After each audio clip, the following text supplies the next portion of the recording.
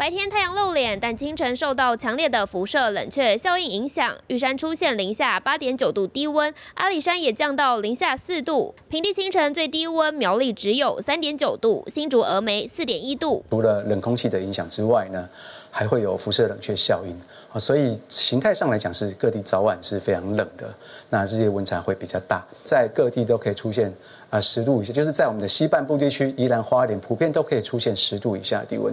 寒流持续发威，周末低温可能更低。面对极冻天气，让人忍不住要喝点热饮，吹个暖气来取暖。但医生提醒，几个 NG 动作千万要注意。很冷的天，我们就躲去一个热热的房间，其实一冷一热一收一放，就是使你的身体的一些血液很容易形成血栓，大家聚在一起抽的交感神经，还有一些啊血管紧缩，造就了。